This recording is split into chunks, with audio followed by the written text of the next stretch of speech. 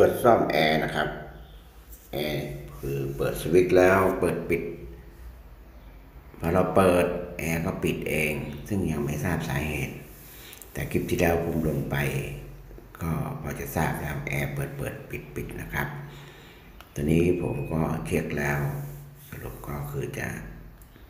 ตรวจสอบด้วยตัวเองเปิดแล้วก็ปิดหลายครั้ง การเปิดปิด นี่ก็คือเปิดนะครับ เราไม่ไปทำไม่ได้กดรีโมทอะไร เพราะแค่เปิดอย่างเดียว แอร์ก็จะปิดเอง นี่เป็นอาการเสียของระบบ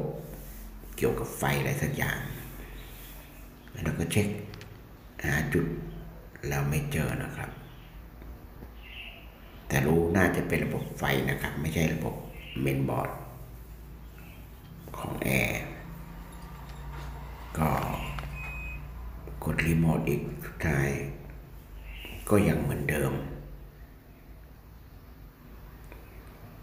สาเหตุน่าจะเป็นเกี่ยวกับระบบไฟ อาจจะเป็นตัว condensing กับ condenser คือคอยเย็นกับคอยร้อนนะครับ มันไม่สามารถติดต่อกันได้ เมื่อเรากดแล้วมันก็จะเป็น U4 นะครับ นี่เป็นระบบช่างเขาจะเรียกว่า U4 เราก็ใช้กดที่ cancel นะครับ กด cancel กด cancel แล้วก็สักพักแล้วก็ปล่อยขึ้นมา ก็จะทราบว่าระบบแอร์มันมีปัญหาเกี่ยวกับอะไรนะครับในกด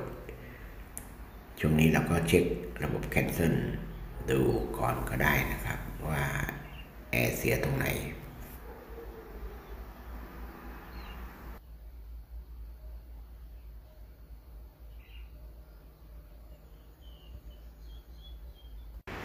ทีนี้เราเรียกช่างมานะครับพอรู้แล้วจุดช่างก็มาก็ตรวจสอบสาย ในช่างกำลังเช็คระบบอยู่ว่าเสียตรงไหนนะครับ ก็ใช้ตัววัดไฟว่าไฟเส้นไหนขาดเส้นไหนขาดอยู่นะครับพูดง่ายๆภาษาชาวบ้านนะครับนี่ก็ตรวจดูว่าสายไฟมีเส้นไหนขาดบ้างไฟเข้ามาไหม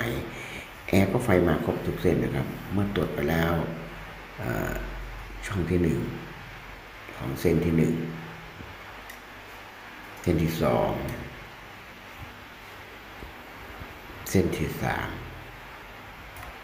ก็ยังไม่ส่งสัญญาณมาหากัน เมื่อเช็คหลาย ๆ จุดแล้วตอนนี้ก็ตรวจสอบ เห็นสายไฟทั้งบนบนมือช่างนะครับ จะมีอยู่สามเส้นนะครับ สีน้ำตาล สีฟ้าแล้วก็สีขาว เช็คไฟเส้นสีขาวเหมือนไม่มีสัญญาณส่งจากข้างล่างข้างบนเหมือนสายขาดช่วง ไม่สามารถต่อไปเครื่องล่างได้ ก็สรุปก็น่าจะเป็นตรงสายไฟเส้นสีขาวนี่ขาดข้างในนะครับ ไม่ทราบขาดนี่เกิดจากอะไรเนี่ยเส้นขาวๆที่ออกมานะนะครับ สีน้ำตาลสีฟ้าสีขาว เส้นสีขาวอยู่ช่องที่สามนะครับ อันนี้น่าจะเป็นสายเชื่อมต่อระหว่างแอร์ตัวล่างกับแอร์คอนเดนเซอร์กับ กับคอยล์ร้อนกับคอยล์เย็นที่อยู่ในห้องนะครับ มันไม่ส่งสัญญาณหากันคือช่างก็สรุปแล้วครับเขาเขาเปลี่ยนสายไฟให้ตอนนี้รู้จุดแล้วครับนี่ช่างก็เป็นสายไฟของเครื่องแอร์ condensing ข้างล่างนะครับนี่สายไฟเส้นสีขาวนี่เราคือจะต้องเปลี่ยนสุดเช็คแล้วทั้งสองจุดนี้เราก็ตัดต่อทั้งหมดนะครับ เพื่อจะได้กระชับขึ้น ให้ดูง่ายขึ้น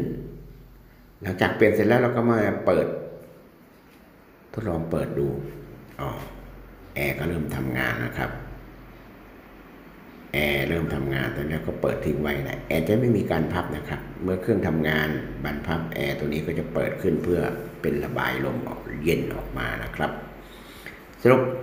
ช่างเขาก็ซ่อมได้เรียบร้อยนะครับ ค่าซ่อมนี่บริการคิดไม่แพงราคากันเองก็ 600 บาทนะครับสมมติช่างหลาย ๆ ช่างก็ติดต่อมาแล้ว ครั้งแรกมาทำก็ยกแอร์ไปซ่อมข้างนอกก็ประมาณสองสามพันสรุปเมื่อเราหาตำแหน่งเองได้ช่างก็ตรวจสอบง่าย เมื่อตรวจสอบง่ายช่างเขาคิดค่าเดินทางที่มาซ่อมเองระยะทางที่จากร้านเข้ามานี่เขาคิดทั้งหมด 600 บาท กับสายไฟให้อีก 3-4 เมตรนะครับ เขาเปลี่ยนสายไฟให้เราเรียบร้อยนะครับ สรุปตอนนี้แอร์ใช้ได้เป็นไฟเขียวนะครับ แอร์ก็เย็นและเปิดอุณหภูมิได้ตามปกติ ใช้เวลาซ่อมมาสองสามวัน ถือว่าช่างเสื้อเหลืองคนเมื่อกี้เขาก็เปลี่ยนให้เรียบร้อยแล้วครับ คืนนี้ก็ได้เปิดแอร์นอน อย่าลืมกดไลค์ กดแชร์ กดติดตามช่องหน้าจนดูด้วยนะครับ อบคุณมากที่ท่านรับชมจนจบรู้ถึงสาเหตุที่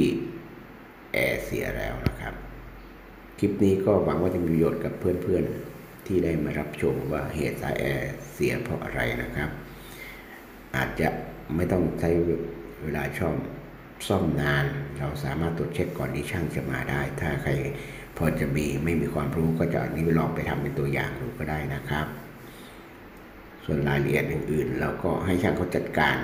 เราเมื่อเราพอรู้รู้เบื้องต้นนะครับ